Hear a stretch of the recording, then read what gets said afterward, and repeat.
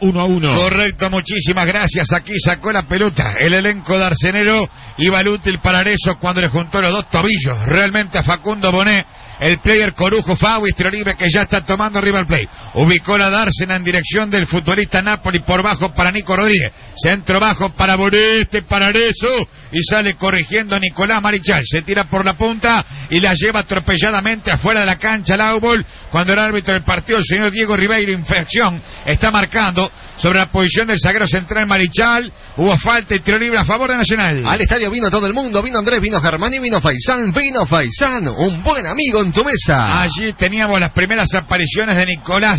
Este de Nicolás no quise decir de Matías Arezo, tras combinación con Facundo Bonet. Estamos en minutos prácticamente 28 la primera parte, 0 a 0. Nacional ante River Plate. Ya tomó el tiro libre el tricolor. Ubicaron por la izquierda para Cándido, al medio contra Sante. La pide por la punta derecha Armando Méndez. Prefirieron tocar el círculo central del campo con Emiliano Martínez. Domina Emiliano Martínez, caracolea frente a la marca Tiago Burba. Logró escapar. Entregó para Trasante, atrás para Corujo. Al medio de la saga con Marichal, reitero, 28 minutos sin goles. Nacional River Plate. Última fecha este torneo apertura que ya fue ganado desde la fecha pasada por Plaza Colonia. Ubicó la pelota el tricolor por Corujo. Daba para Alfonso Treza, que impreciso no pudo resolver la tenencia. Corrigió igualmente Treza. Al ataque se tira el tricolor de Treza. Va para Méndez. Corre como puntero derecho. Levantó el centro. La saca media Robert Herrera. Quedó bollando. Penal, penal, penal. Penal. Penal. Le acaban de cometer infracción atrasante. Para mí bien cobrada la falta. Penal para Nacional como la viste vos, Gustavo Ricci. La importancia de que los volantes pisen el área. Me da la sensación que cuando enganchó este, Joaquín Trasante lo derribaron. Bien sancionado el penal por el árbitro. ¿Qué dice Richard Arce? Fue penal, claro, porque en velocidad, Trasante cortó hacia adentro, lo derribaron bien Ribeiro. Correctamente acertada la decisión de Ribeiro. La falta fue de Bogio sobre el jugador Trasante que ganaba la pelota, lo tocaron al volante central y es penal para Nacional, llegando esta ejecución al minuto 29 de esta primera parte y estando 0 a 0 tiene Vergesio la posibilidad de poner a su equipo el Club Nacional de Fútbol adelante en el score. 29 minutos. Vergesio frente a Hichazo. Hichazo es el meta Platense. Vergesio el ejecutante nacional. Reitero, 0 a 0, 29 el primer tiempo. Contra el arco que significa el de la tribuna Colombes. Allí se juega en el Saroldi. Es un duelo interesante. Vergesio toma una distancia que llega prácticamente hasta el borde del área grande. Lo conversa Hichazo.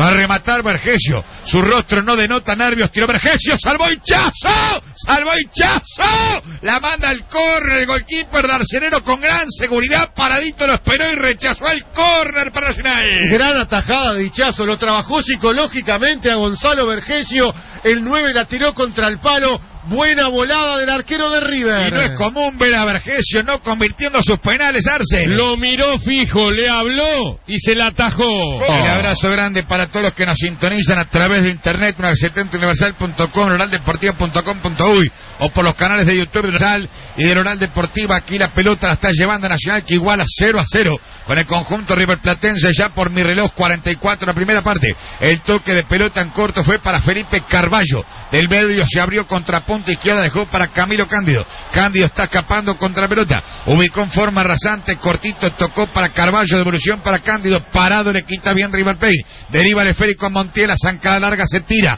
Allí envía por la punta izquierda, corre solo, desesperadamente Luciano Bugio. Al ataque Bugio, enfrenta la marcación de Armando Méndez, se frenó ante Trasante, colocó hacia atrás, dio para Bonifaci. Centro corto, despeja bien Carballo. Quedó la pelota a medio camino, volvió a tomar la River. El toque es de Nicolás Rodríguez. Centro cerrado. Saca Marichal. Complementa quitándole a Armando Méndez. La pelota se va allí a buscarle al futurista Ocampo que comete infracción. Infracción de Ocampo sobre Bugio. Fau. Tiro libre es para River Plate. Familia, el servicio de acompañantes de la Asociación Española, Asociate 1920, 1, 2, 3, 4. Vamos a ver cuántos descuentos hay cuando lo vean mis compañeros, me lo dicen, por favor. Aquí hay tiro libre de Arcenero. Créate Uruguay, importador de camiones, fotón, tractor, mixer y volcadoras. Créate Uruguay, Carlos de la Vega, a metros de ruta 5. Por mi reloj, minuto 45. Algunos jugadores aprovechan para hidratarse. Mientras tanto, se va tomando confianza por Arezzo para rematar este tiro libre. Un jugador con confianza es mucho más efectivo. Cash, líder en confianza. Lo conversa Bogio Arezo, como diciendo, déjame pegarla a mí. Arezo lo mira atándose los cordones, le pego yo.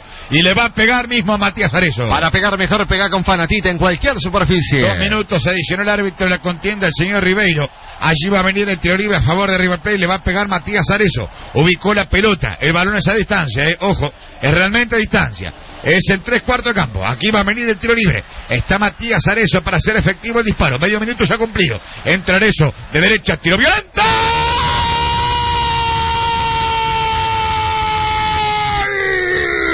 ¡Gol! ¡Gol!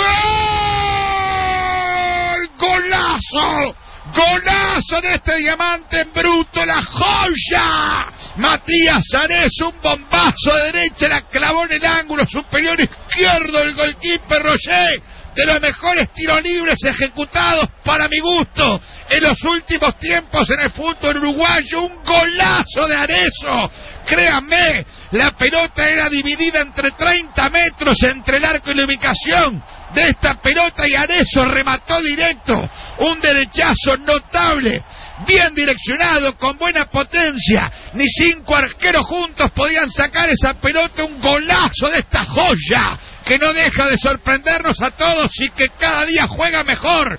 Pibe, gracias por este talento, Arezo, autor de un golazo, River 1, el Nacional 0. Arezo, la joya, más que de River Plate del fútbol uruguayo con un verdadero golazo. Encuádrelo, sinceramente, un golazo la clavó en el ángulo superior izquierdo. Martín les decía, se está atando los cordones.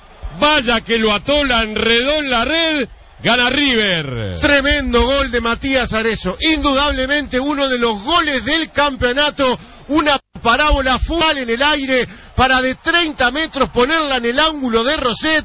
Sensacional gol de Matías Arezo. Si esta es la despedida, Vaya despedida.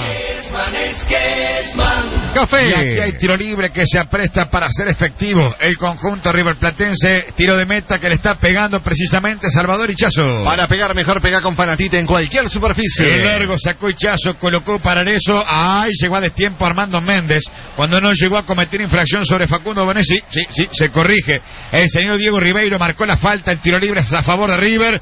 Llegó tarde Armando Méndez, cometió infracción sobre Bonet. Ejecutado el tiro libre por intermedio de River Plate, pelota que derivan Facundo Centro para Arezo, de primera toca el medio. ¡Borba! ¡Ay, que rebotó la pelota! La sacó Conujo. Vuelve a encontrar la River por Arezo. Mira el área, levanta un centro, jugó para Borba, está de espaldas a la zona de acción, volcó para Arezo. Tiro al arco, rebotó, viene gol. ¡Gol! ¡Gol!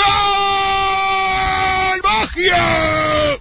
¡Bagio! Boje acaba de anotar el segundo tanto River Plate. Toda la jugada del jumbo del match. Arezo. Allí encontró la pelota Arezo que tiró de Roger como pescador en área ajena. El chico Luciano Boggio la empujó y decreta River el segundo tanto del partido. Seis del segundo tiempo, Boggio. Acaba de anotar el segundo gol, River Plate 2, Nacional 0, Luciano Boggio, autor del tanto. No solo los hace de tiro libre, los genera y se los da a los compañeros. Hizo todo bien Arezo. Nacional dormido en el fondo. Boggio solo marca el segundo gol. Y Arezo encontró la manera de explotar las enormes deficiencias que tiene esta tarde la pareja de zagueros de Nacional. Están dejando un espacio enorme en su propia área. Acá dejaron que Arezo rematara prácticamente solo. Roset dio rebote, le quedó a Bogio. River en el arranque del segundo tiempo encuentra una diferencia importante. Es.